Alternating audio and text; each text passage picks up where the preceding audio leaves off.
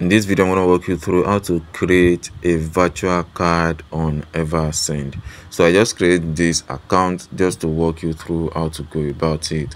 So all you just need to do just log into your eversend app whether you're using an android or an iphone then here you can see cards down below. Just click on cards.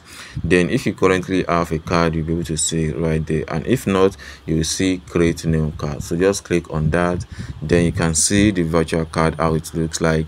You can select the color of the card you want. You can see there are three different cards from uh, eversend.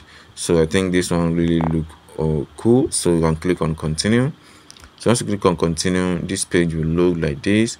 So you choose how much you want to fund your virtual card. So select the amount you want to fund your virtual card and the money will be deducted from your balance. So you have to make sure you have enough money in your balance so that you will be able to fund your account without any issue. So once you select the amount just click on continue and the money will be deducted from your balance and the card the virtual card will be uh, will be there and then you can use it to shop online or buy anything online